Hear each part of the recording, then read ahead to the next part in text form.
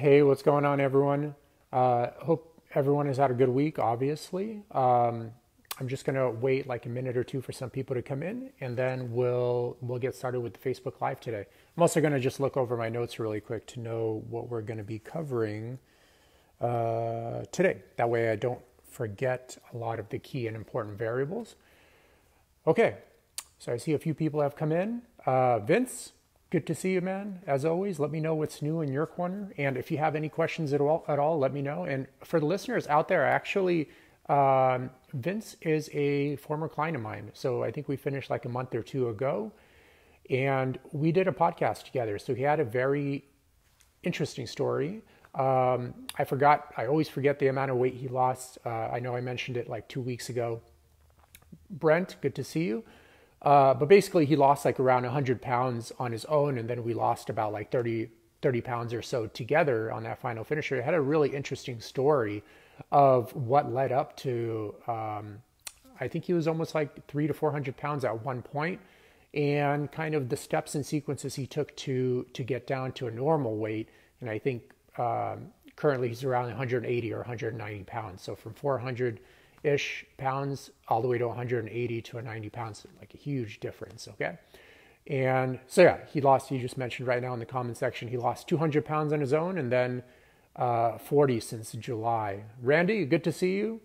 Uh, good to see you as well. Hope all is well. Hope your training is going well. Okay, so guys, uh, we're going to cover a very, very, very important topic today. Um, I actually did a somewhat similar video like this last January, uh, touching on a couple of uh, couple of the points in this group, and hopefully uh, to help people in their New Year's resolution goals not only get to their goal but actually create lasting change. So we will be focusing on fat loss as the primary topic here, but just know you could use these principles for any kind of health issue, be it like depression, gut issues, uh, cardiovascular issues, whatever you name it, uh, it could be applied, and you can see a lot of uh, a lot of benefits from it. Okay, and it's uh, I think it's like January seventh or January eighth already, and I already see a lot of people, especially in this group too, making the same same old mistakes, uh, same old mistakes like trying keto, trying all these gimmicky diets. Um, now, don't get me wrong, keto, fasting, paleo, whatever, they all have a unique place and time. Uh, everything has a place and time. Uh, but for the most part, a lot of these diets aren't right for the people that are using them and implementing them, but the people that are using and implementing them are basically doing it to simplify their journey in order to kind of scapegoat, navigate, and avoid dealing with the real issues of what led to those health challenges and in our conversation today, what led to all that weight gain. And they they do meal prep services, they do three month challenges, whatever they can do to not deal with the real issue that's leading to that weight gain. Uh, so you have to remember, like we mentioned almost on every single podcast uh, or every single live rather, fat gain has to be. Uh, Pre Scott, good to see you. Uh, fat gain has to be seen as a symptom. Okay, it's a symptom of poor lifestyle and nutritional choices. I'm not going to get into the etiology tree in this video today because I did that on so many other videos. So please check those out to kind of connect the dots what we're talking about here. But you have to see fat gain as a symptom. It's it's kind of like a pain teacher. It's your body's way of telling you like there's a lot of chronic inflammation going on, and that chronic inflammation is is is happening from somewhere. So most likely, uh, chronic amount of mental and physical pain in a person's life that are typically tied back to the three variables we mentioned in many other other videos. But today we're going to be talking about specifically one of the variables to kind of have a bit more context and be a little bit more uh, razor sharp in our discussion. So, what a lot of people, what what is the typical go around for people on New Year's Eve that want to lose weight, that want to achieve that ideal physique, ideal health, etc. They're like, well, it's very superficial. They're like, well, I just got to start working out and uh, eating a little bit better, okay? And this sounds like very, very good on the surface, and really does sound like all you really need to do to achieve that. And don't get me wrong, like a lot of times when people approach it just from these two variables alone, they actually will lose, uh, let's say, the 20 or 30 pounds they want to lose. They slim down their midsection. But, you know, and you can look at this at Google, PubMed.gov, you will see what is a recurrent pattern. And any experienced dietitian will tell you this is this is a very common problem is people end up losing their weight or getting rid of their health challenge and you see them two three four years later and they're even more overweight than ever before. And this happens like literally 80 to 90 percent of the time the studies vary a little bit but it's a it's a very very high relapse rate. And a lot of people in the nutrition community um, or definitely in, in the medical community are kind of i feel a little bit too tied into like the symptom management approach. They're just trying to figure out like, hey, you know, uh, how could we make nutrition programs more sustainable, more flexible, more customized to the person? And all these things are great. Every uh, piece of the puzzle has a place and time in a person's fat loss or health journey, no doubt. But from my observation and typically from any cl- clinical person with decent amount of clinical experience, it's just it's very obvious. Lisa good to see you. Thank you for joining in. Uh, it's very obvious like one of the one of the biggest things that are negated that are avoided because they oftentimes require uh, a lot of change and a lot of effort and a lot of guts and a lot of you know dealing with fears on the on the client's part is no matter how successful they are like typically what i find is a lot of people that don't achieve that lasting fat loss or a resolution of their health issues completely, meaning the health issue is dealt with while they're with the clinician, you know, be it a medical doctor or nutritionist or a personal trainer. But then once they leave, it almost always comes back. And then what's the point of what's the point of dealing with it in the begin uh, to begin with? Then you know, if just you get rid of it, and then there's another symptom or the same symptom that pops up a few years later, et cetera, et cetera. And there are many, many reasons of why this happened, and we covered many of them in past lives. So please check out those videos. Uh, but one thing we're going to focus on today in this video is the fact that a lot of people just literally never ever change the environment that led them to have those issues to begin with. So obviously there's a belief system that led them into believing it's acceptable to be in an environment that doesn't facilitate health conscious choices well. Uh, but today we're going to be not talking about the belief system too much, but moreover just focusing on the environment and how to identify toxic environments or environments that are not conducive to living a, a healthy life mentally or physically. And this is the big this is literally one of the biggest issues of why relapses is so high. So a lot of nutritionists or dietitians would, for example, say like, "Oh, you know, the, yeah, we lose weight, etc., but then it always comes back." I'm like, "Well, it always comes back because the person never left or always goes back to the environment that led to all those issues to begin with." Uh, one extreme example would be like, let's say a person finishes a drug rehab center, so they are addicted to drug ABC, and it, it was successful, but guess what? They return back to you know the neighborhood where their friends that are still using drugs are there, uh, there are drugs in the neighborhood or, or something of that sort, or return back to a work environment where there's a lot of drug use, um, recreational. And of course, it's common sense to presume this person will relapse and become a drug, uh, drug addict or have problems with drugs again. And uh, it increases the chance through the roof. I'm not saying it happens like literally 100% of the time, not 100% of the time, but it happens very, very often. Person finishes drug rehab center, they go back to the neighborhood where uh, you know their friends or whatever neighbors are still using drugs or they're drug dealers.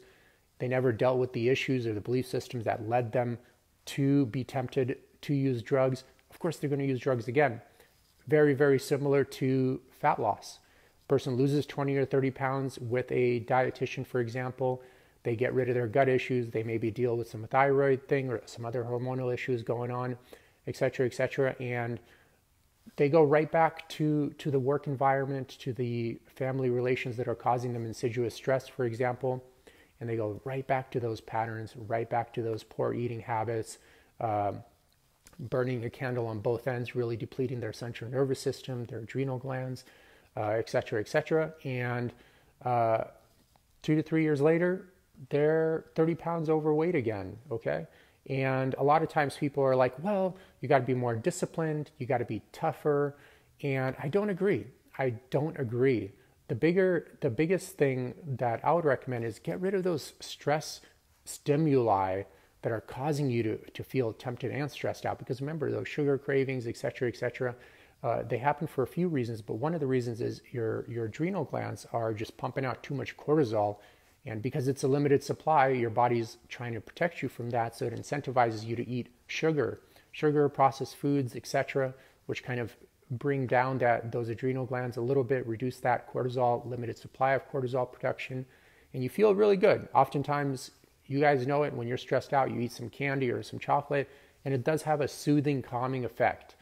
Uh, and you feel good, but 30, 40 minutes later, because you never dealt with the stresses uh, or getting rid of them or changing them in some way, changing them significantly in some way, those stresses keep on recurring. You keep eating more and more, stress eating, and then you gain weight, and then you stress out about the way you look now, the way you feel. And it's kind of like an insidious, like negative cycle that that gets worse and worse year after year. Let me read uh, Vince's comment here. So, in my drug addiction recovery, I had to demolish and rebuild every way of life. Vince, this is huge, and I would recommend once again everyone in this group to check out the podcast I uh, or the live Facebook live I did with him. Um, if you have trouble finding that video, please do check it out.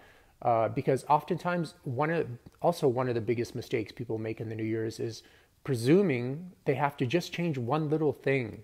Okay, oh, I just have to decrease my carbs a little bit. Oh, I just have to get on this ketogenic 10 day challenge. Oh, I just have to go to the gym a little bit more. So, usually, and I've been doing this for like 14, 15 years already, probably 15 years, I got to double check.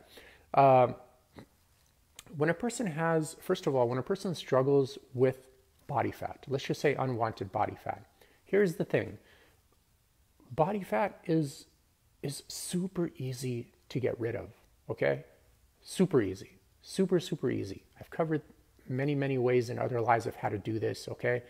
It's super simple okay? So when a person struggles with getting rid of unwanted weight this communicates to me that a person hasn't mastered at all the very basics and foundations of healthy living or understanding that they're human and biological system and how to operate that biological system.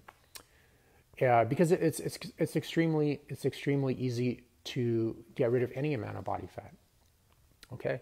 And I'm not exaggerating it. They are real simple principles. And as long as you master these real simple principles, uh, you will see amazing change. It doesn't require like carb cycling, it doesn't require keto, it doesn't require the carnivore diet, it doesn't require any elaborate biohacking. Of course, once again, not trashing anything, everything has a place and time, but it doesn't require any of those things. And in fact, all of the testimonials you guys see on the website, posting here, I literally just have very, very basic principles with my clients, and uh, they, they see those changes, okay? It doesn't require you to understand quantum physics to burn body fat. So when a person doesn't isn't able to burn body fat, that communicates with me that they don't know what healthy eating is. They don't know how to operate or navigate their biological uh, system.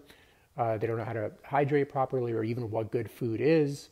Uh, and also, when um, you have unwanted weight, I, I also see people with unwanted body weight having various other issues because I do have them take the HAQ that I got from the CHEK Institute, which gives me a good overview of all of their biological markers their gut health, their adrenal health, their emotional state, musculoskeletal state, prostate health, etc., etc.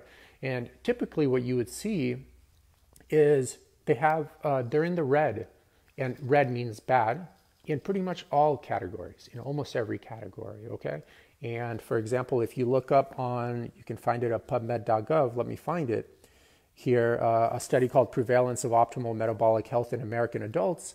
Uh, you will see the researchers um, uh, there showed that clearly 88% of Americans are metabolically unhealthy. Unhealthy. Round it up, let's round it up a little bit. Let's just say 90% are unhealthy. And the 10% that are healthy, once again, the standards they use to, to indicate that they are healthy were very low. And only, in my opinion, a great study, by the way, and only 10% of people match that category. So, literally, like 9 out of 10 Americans are metabolically unhealthy right now.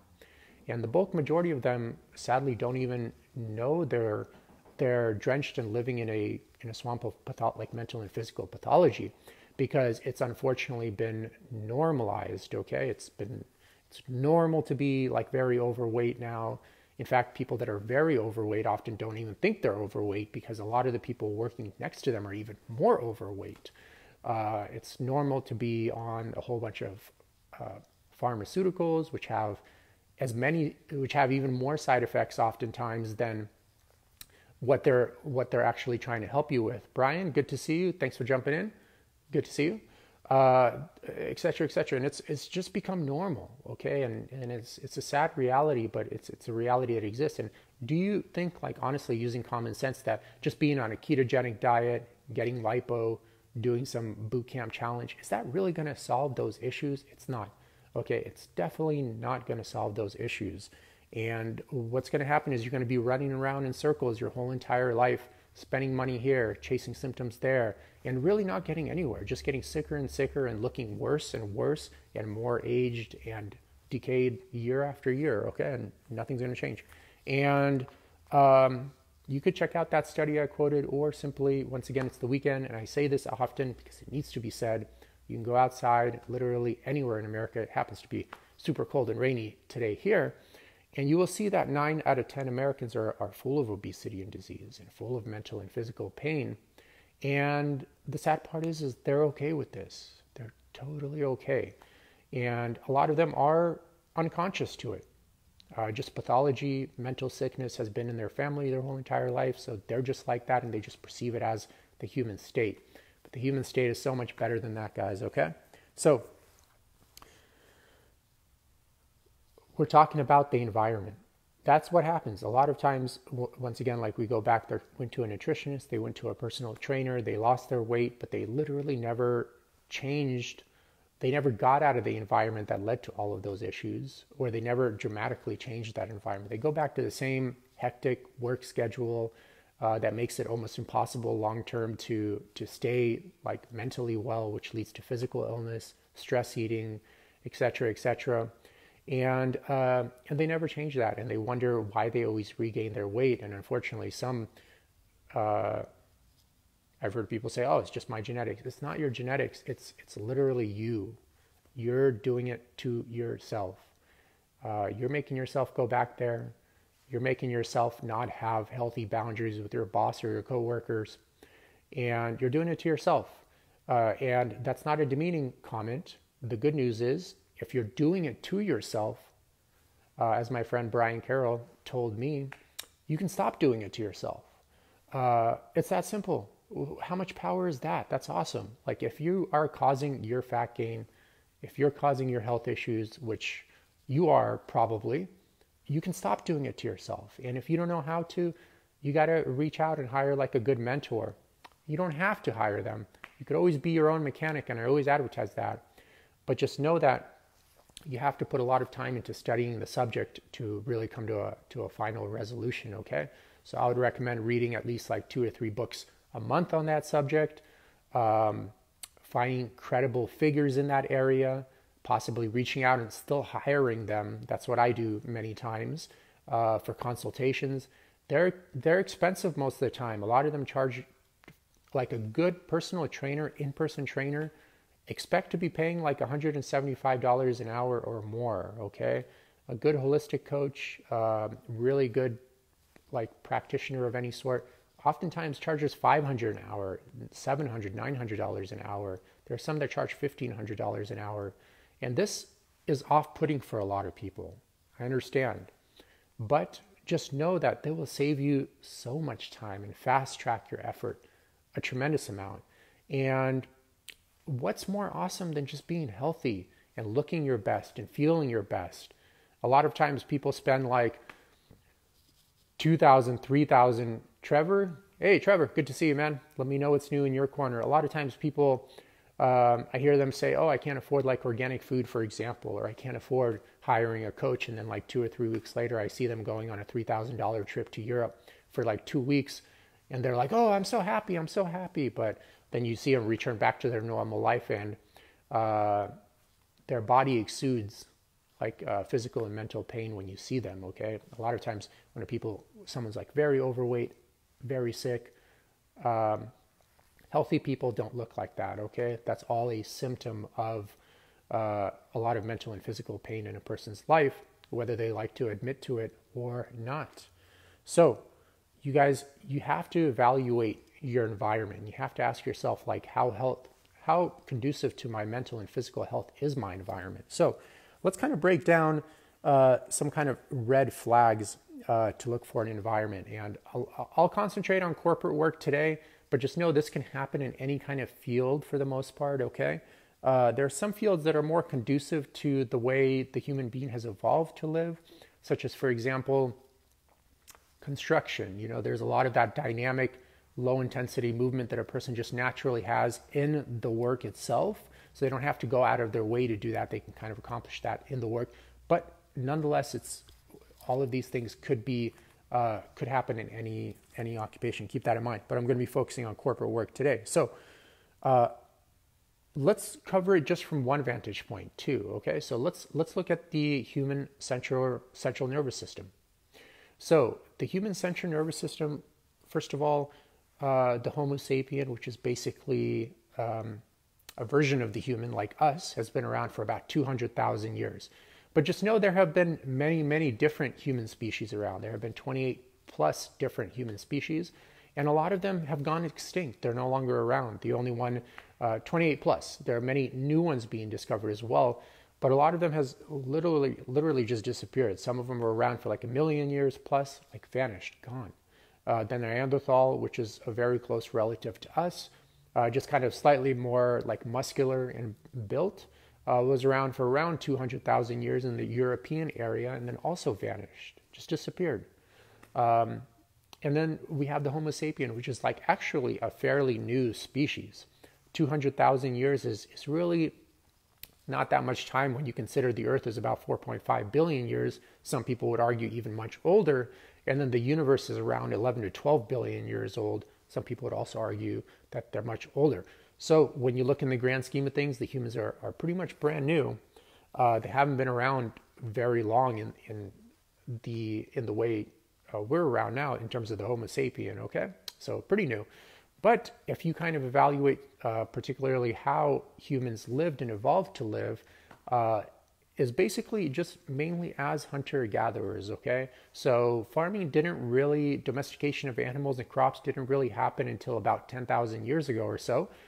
And that's when civilization started to form, okay?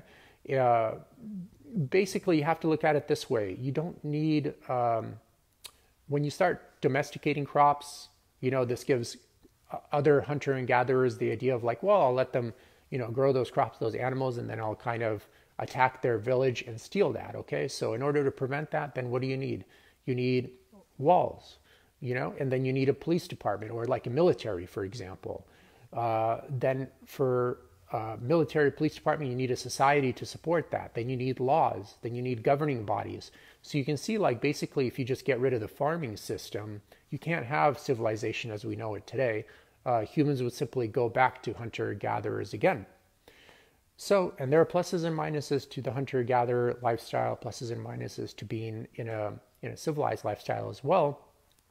But if you look at how the central nervous system has evolved, and I'm getting a lot of this from uh, Dr. Sapolsky, which is a, a, a, stress researcher from Stanford, uh, very great content on stress physiology.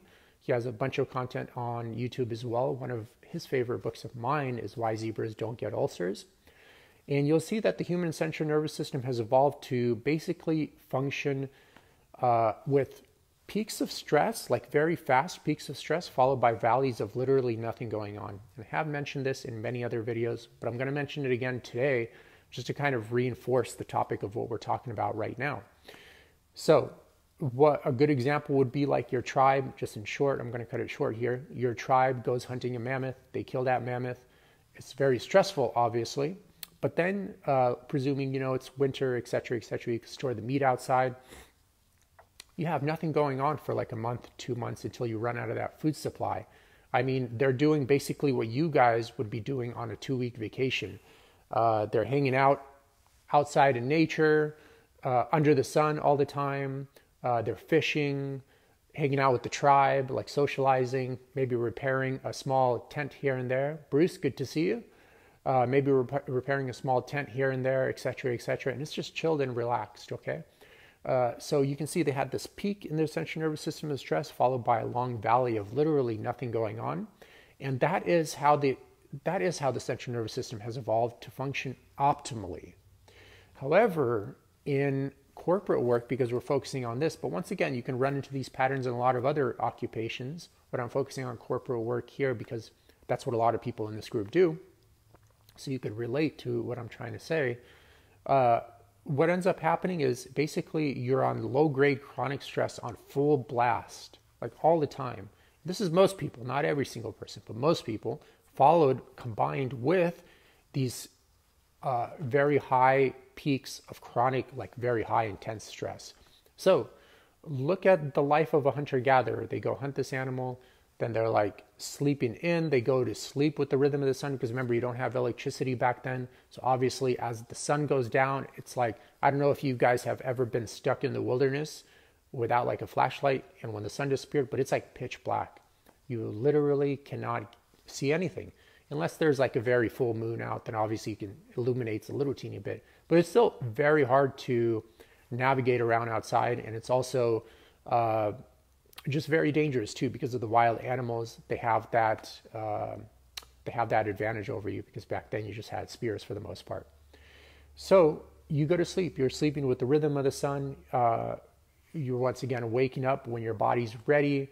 Then you're hanging out uh, with your tribe. You have a small connection, um, not like artificial relationships like you see online, for example, or in the workplace oftentimes.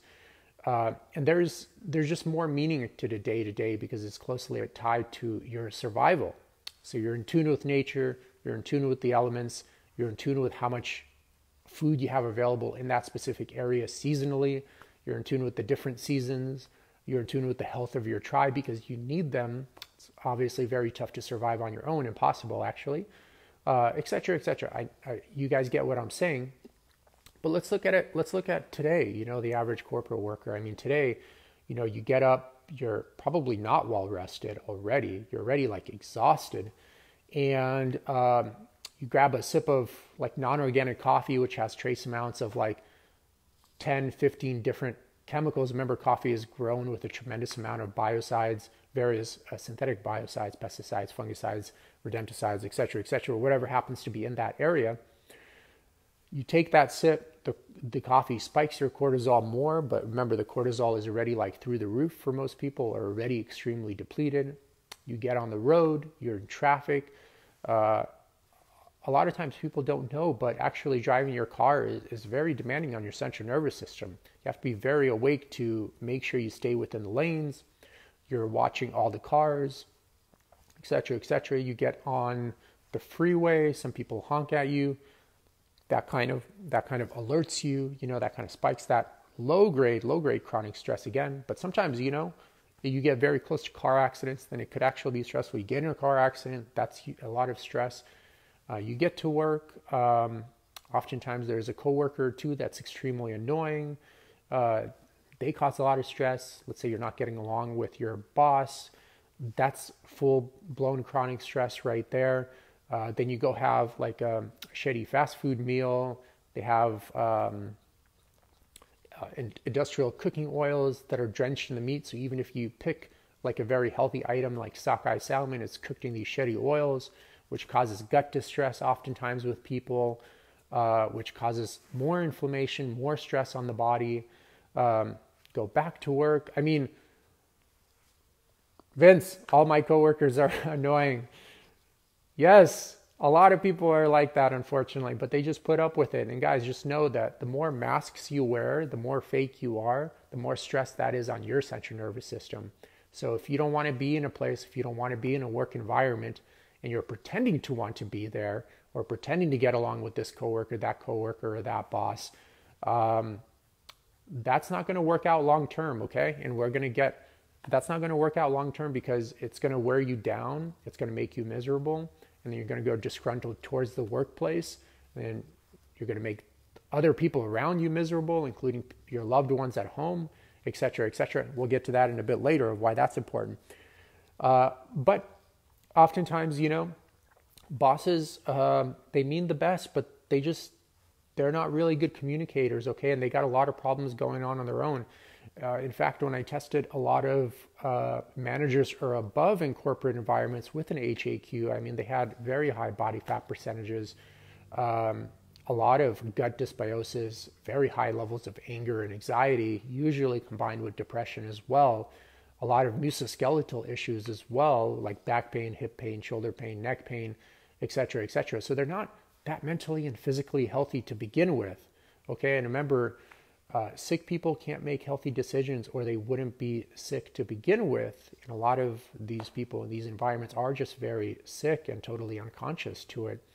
And uh, they're in charge of you, okay? So obviously, they're not going to make health conscious decisions in the environment, and that's going to affect your mental and physical health as well. It all interconnects, okay, guys? Everything is interdependent. Um, so all of this stuff is, most people are going to ignore it, including the people on this call. I don't doubt it because it requires real change. But I'm happy that maybe one or two of you will actually take this to heart and create lasting change this year by focusing on many variables. One of these being making sure your environment is conducive to your mental and physical health. Because if it's not, you're spending so much time there uh, it's basically like five days a week because if you count like driving to work, being at work, driving back from work, it's pretty much all day. Even if you have some hours available, you really don't have the energy to utilize those hours. And you're usually thinking about work, going to work, and then thinking about work, uh, driving back from work. Uh, it's probably interfering with your sleep oftentimes as well. I see that very often. And so it really consumes your life. It really consumes your life. Now, if you're working part time, let's say like 10, 15, 20 hours a week, then I think you can make it happen, even if it's not like super conducive. Although I would say, still, in my opinion, it's not ideal. But most people aren't doing this. Like the average American works about 50 hours a week, so that's about eight hours a day, six days a week. And most often, most oftentimes, especially if they're middle manager or above, they're doing some random stuff even on their day off to get ready for the week or catch up with what they couldn't do on the week. Okay, so this is most people's reality, Mike, Victor, and you can't. Um, at the end of the day, most people's central nervous system has not evolved to function that way. So if they continue to stay in that kind of environment, they will always have a life of mental and physical pain, which will lead to excessive fat gain and other various health issues. Okay, so and I don't care like who you hire. I don't care if you have the best nutritionist in the world or the best personal trainer in the world the best you can do, from my observation, I have a lot of data to support this, and you can find a lot of data on PubMed.gov of why America is getting sicker and sicker, is just the environment needs to change. I don't care what kind of nutrition you're on or how much you use meditation as a form of medication. Like, think about it this way a lot of times people are like, oh, I have such a stressful life, but I meditate. It's like, dude, have you ever thought of possibly just getting rid of the stress? so you don't feel like you have to meditate so much? Just a thought, okay? Uh, that seems like a common sense approach to me. And I got this from Jator Pierre, this example. And a little five year old kid will understand this, but adults uh, are clueless. Let's say you have like a, a rock stuck inside your shoe. So the common sense approach, and a little child will understand this concept, is to take the shoe off, take the rock out, put the shoe back in, and then walk comfortably. What do educate, like quote unquote, educated, and I use that word very loosely because, um, very loosely, let's just say that. I'm not going to continue with my train of thought there because I want to keep it somewhat positive. They keep that rock inside your shoe, have pain, and just take pain medication, painkillers. There's the ultimate symptom management approach. And um, that's literally what like 99% of Americans do when they have any kind of issue. And they wonder why they stay obese, sick, full of disease, misery, and pain. Because the only way to be healthy is to be healthy, like do healthy things. And um, if you don't know how to, that's okay. It's you don't have to know everything, but you will need to reach out to like a mentor and hire them, and ideally reach out to like a holistic uh, holistic health coach and hire them because once again, you don't want to get stuck into symptom management uh, coaches as well. So if you have you know an environment that's causing excessive weight gain, hiring a personal trainer is great maybe because remember if your adrenals are already blasted and fatigued you're already exhausted you already have like a lot of pain uh, training at that time is not ideal. You should be working in instead of working out. You should be dealing with correcting all those physical pathologies before you even step a second into an intense uh, performance-based workout. And honestly like a lot of these beat down boot camp workouts are not appropriate for literally almost the whole population at this point. Like I mentioned, 88% of Americans are metabolically unhealthy. But on top of that, if you look under the hood into their HAQ scores, for example, a tremendous amount of have adrenal exhaustion, basically. Okay, they're so exhausted and they're so worn out. Uh, they look many, many years older than they are. They have like hair loss, uh, premature hair loss, etc., etc and then they get thrown into these super intense workouts. It's like, dude, uh, super intense workouts on top of that with minimal supervision. And a lot of times you have to understand that, like, very good, competent coaches don't have boot camps. They understand that each individual human is so different and their needs, their uh, needs are so complex that you can't, um, you can't provide really good service. Uh, in a bootcamp type environment when you have like 10, 15, 20 people, uh, they have to supervise all at once. So it's just it's just impossible because there's so many variables to consider and to look at and to, to individualize. And a lot of times, just with each new incoming client, like a bare minimum, I'll spend like two to three hours assessing this person. Two to three hours assessing this person. Sometimes, if they come in with a lot of issues, it could be actually longer. Okay but the average is about two or three hours for the entire assessment process. And for a lot of these uh, programs, you come in, they kind of do a quick Q&A like, hey, what are you trying to achieve? Maybe have you fill out a waiver and they're like, boom, get in the class. No, no, no. Ask and demand better service from that service provider, okay? Um, and just a lot of the trainers uh, that are really competent and good, uh, once again, will be you know charging that 150 200 an hour uh, but it's worth it. And it really will give you so much more benefit in your life in my opinion than going to michael good to see you than going to um, even like a medical doctor and uh, getting hooked up on a bunch of drugs that are the ultimate symptom management strategy that really resolves uh, cures no issues, just manages the issue with medication. And then, like two to three years later, you have three to four different side effects from that medication that you need medication for those side effects. And I don't know if you guys saw me post, but one of our group members is a nurse, and uh, he sent me a picture of a typical client in, in the hospital. And this person has brought nearly like 20 different pharmaceutical drugs that they're taking all at once and they're still obese, full of misery and disease. And half of those pharmaceutical drugs are just to counter the side effects of the other half. And dude, that that kind of practice is criminal. I really don't know why someone would go to medical school for so long just to practice that way.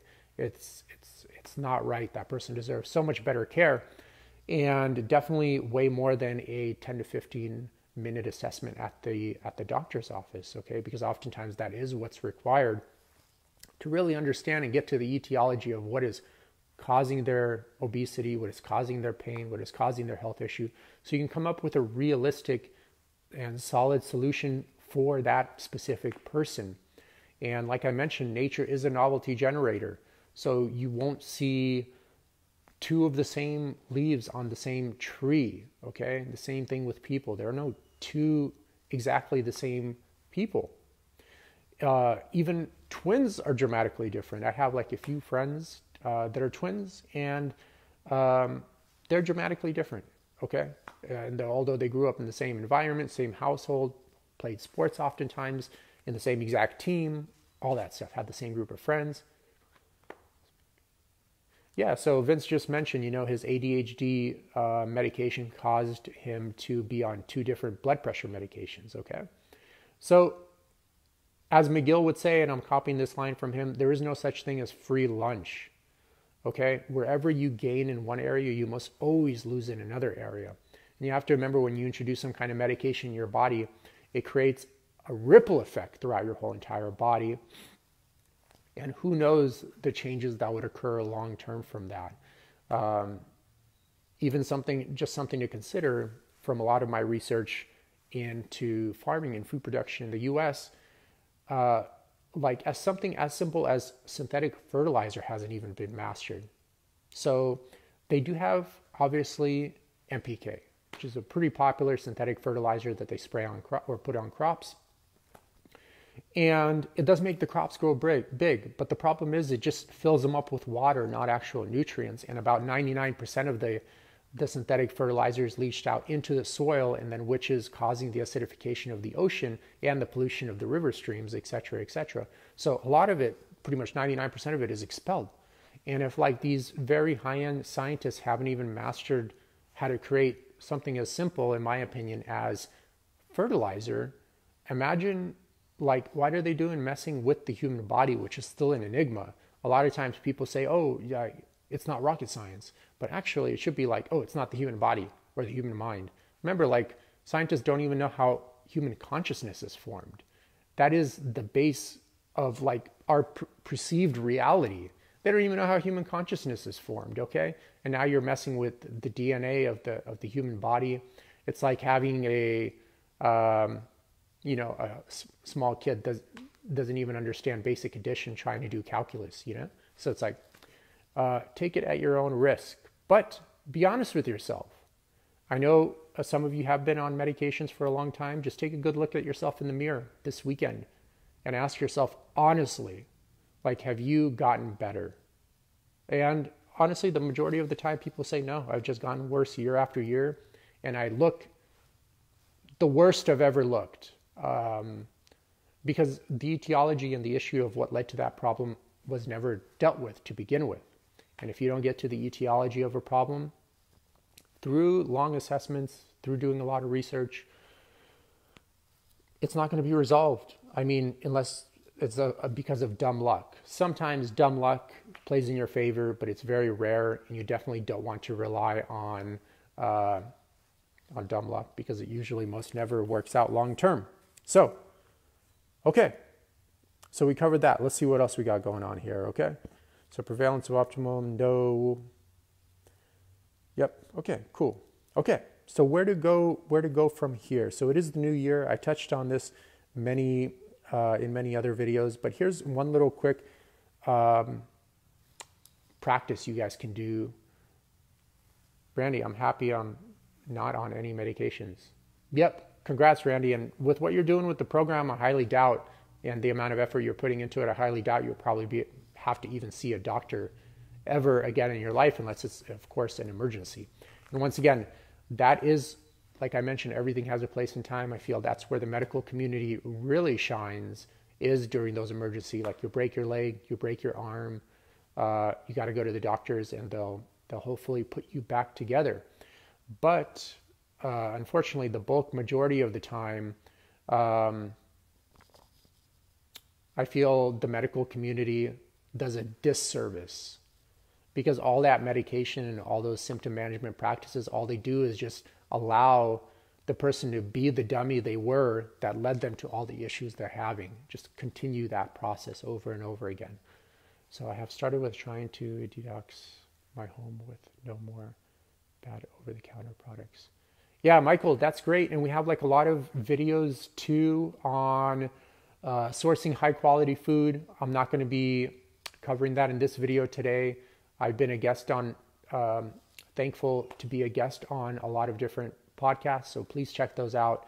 Uh, I give away, literally give away tremendous amount of free information that like a dietitian would would just charge you hundreds of dollars per hour for just to tell you probably the same thing.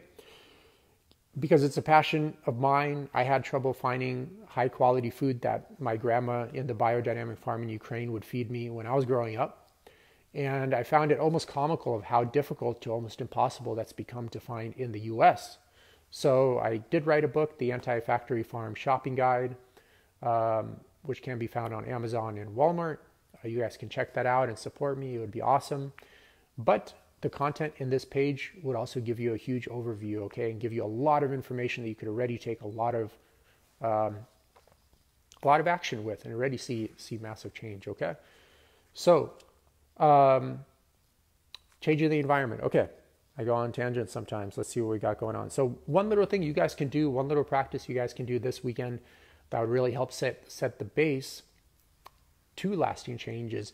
You have to identify your your core values that's huge uh, because without that, you're kind of operating unconsciously throughout the day. And you're kind of just walking around in the forest with no light, no flashlight, and you're just like, you don't know which way to go. Is it to the left? Is it to the right? Am I like too far downstream? Am I too far upstream? Like, how much more do I have to go? Am I going to run out of food?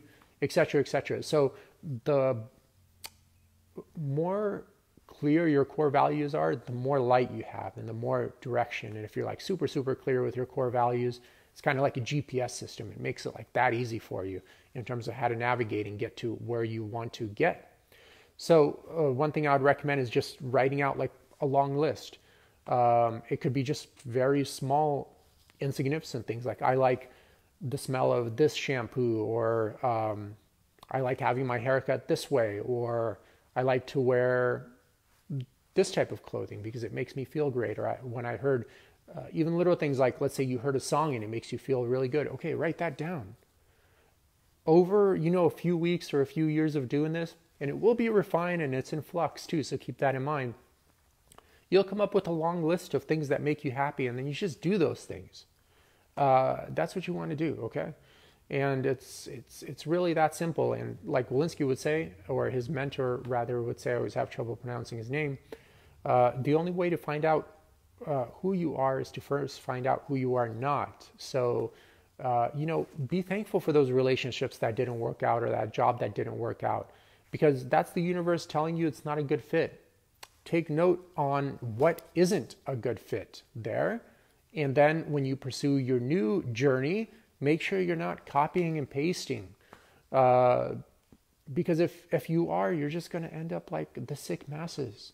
They're swimming in a swamp of pathology and they've totally normalized this, okay? You want to avoid being in that group, which is basically almost 90% of the population at this point, okay? Repeating patterns over and over again, doing the ketogenic challenge now, doing some silly other thing later, um, doing some 30 day fat loss challenge, um, whatever. I mean, dude, it's endless. I can go on just speaking about hours and hours of the almost I hate to say it, but like idiocy I see daily because people just don't want to take the responsibility and acknowledge and deal with the real issues that are causing their problems. They'll try their best and spend so much money and effort navigating around, avoiding the real problems, doing the ketogenic diet instead of getting rid of the environment that's causing them to be stressed out, that's causing them to to, to stress eat. Uh, going to a chiropractor and popping their back once a week, paying $150 instead of learning good spine sparing movements and learning actually how to use the human body effectively to not surpass that biological tipping point. You know, um, taking pain medication for chronic headaches instead of evaluating like why is that headache happening and solving it from there uh, I mean, so be it, man. If they want to make these pharmaceutical companies rich and be on the 401k of their chiropractor and medical doctors so you can fund their kids' college education, then so be it. That's on you, okay? Just make sure you have a lot of money at store to pay all these guys. And the sad part is, is most of the time I see they're paying, paying, paying, and just getting sicker and sicker and sicker year after year. Michael, yes, I kind of have a mixed feeling about that. Yes, they are kind of lazy, but no, they're not because they are devoting a lot of time and effort into avoiding the real issues. So they are putting in the effort, they are putting in the work, but they're avoiding the real issues. And because the real issues, unfortunately, will most likely tell them if you want a resolution of these issues, you have to change who you are as a person. And that's scary for most people and daunting and very overwhelming. And that's why they never change. But if you don't, then just expect a life of sickness and don't be surprised. Uh, don't be surprised for it. Now, remember, 50% of Americans these days get cancer and half of those die from it, okay? So every other person basically on this call, as depressing as this sounds, I'm just going off averages, obviously, so please remember, is going to get cancer and then uh, half of those will die from it. So that's huge. Uh, that's huge, okay? I would be more worried about that than getting a COVID infection and dying from that, okay? Definitely. Uh, almost 800 to 900,000 Americans die from heart attacks every single year. That's like almost a million people. And that's so easy to avoid. I mean, insultingly easy, just through such minor lifestyle changes and nutrition changes can help you avoid having a heart attack. I mean, that's so easy. And the fact that 800 to 900,000 Americans die from that every single year uh, is a huge red flag that America is sick. They are sick. They are full of uh, physical and mental pain, full of pathology. I say this often, but it needs to be said. We cannot, um, we cannot find this acceptable anymore. Okay, it cannot be acceptable anymore. It's not adding any value to your life. If anything, the only people profiting from it are the pharmaceutical industry and the medical community. And America is just getting sicker and sicker and sicker and sicker. And uh, now they're proposing this universal healthcare system thing. I don't even know what happened to that. I don't believe in it for this reason. Okay, it's super expensive. It's extremely symptom management. I would rather the government take a small portion of that money and basically fund a very thorough education program, elementary school through high school, maybe even through college. I don't think the college part is necessary, but at least through high school, and teach people about how to use movement as medicine. You know, the importance of nonviolent forms of communication, what organic food is and healthy eating actually is, uh, why it's important to identify and live out your core values, and uh, stress management, how to identify toxic environments like we're talking about today, all that stuff. That will get rid of the bulk majority of all the health issues America is facing today without the reliance on all these expensive drugs that have a tremendous amount of side effects. Like Vince just mentioned, ADHD medication um, resulted in him having to take two blood pressure medications just to counter that one. Yeah, Randy, that's what will create a real change. And then these kids that will eventually have kids will pass that knowledge down to their kids.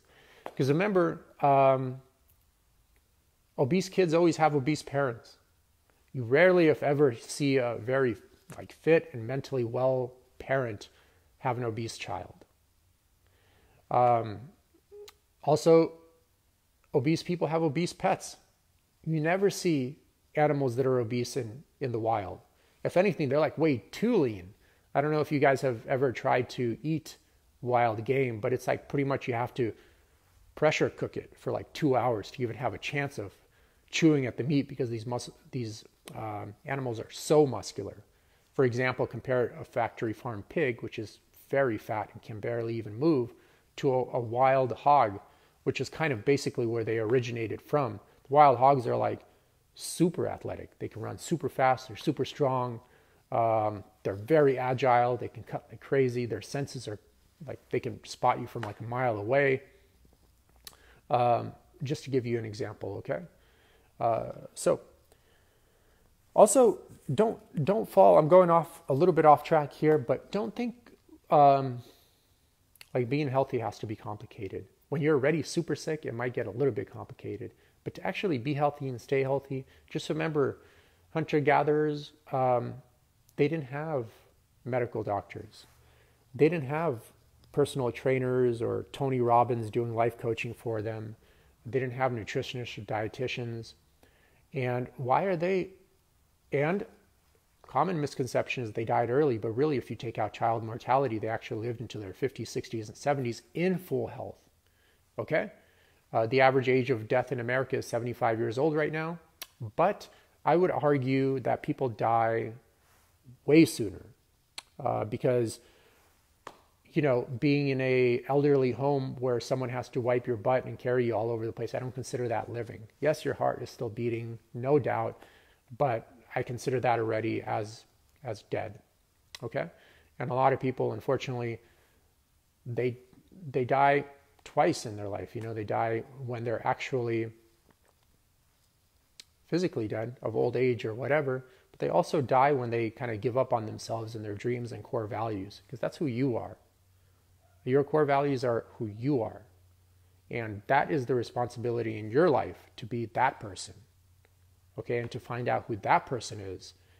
Uh, and that's where that's where you want to that's where you want to go and that's kind of where I'm a little bit disgruntled with psychology. I obviously have a degree in psychology from the University of California, Irvine, I kind of got away from academic psychology because it turned out to be, uh, once again, one of these fields where it's like very industrialized, meaning like psychology, at least why I got into it, was all about just finding out who you were deep down inside and being true to that person. Today, it's all about like, let's deal with your anxiety so that you can be a more productive worker so that you can make more money and you can move up the corporate ladder and you can have more friends. Let's, uh, you know, deal with subject A, B, whatever, so you can have more relationships and you could attract the person of your dreams and so you can have more and more and more. It's like become very capitalist, okay? Nothing against capitalism. I think capitalism is a great invention, but it shouldn't intrude in, into that subject, in my opinion. So, um, so we covered a lot today. I'm going to kind of end it here. Um, it was great to see you guys. I'm just trying to take a look at my notes here. It was great to see you guys, but I hope that's what you guys focus on this year because that's what's going to create lasting change. And um, you will see once you master that part, like everything just falls into place. You don't have to work out as much. All of a sudden, you have a lot of energy. You don't have to work out as much, and your body still looks really good. Your digestive system works well. Your sleep is magnificent. Um, your sex drive is high.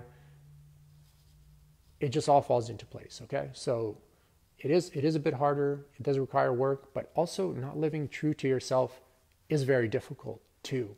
Okay, and you have to um, and you have to live with that 24 seven and deep down inside, you could only bullshit yourself for so long. Uh, it's up to you. Okay. But it was great to see everyone here. Thank you for jumping in. Uh, great to see all of you guys. Uh, have a great weekend, okay? And enjoy the rest of your week, coming up week, and I'll see you guys next week. Take care.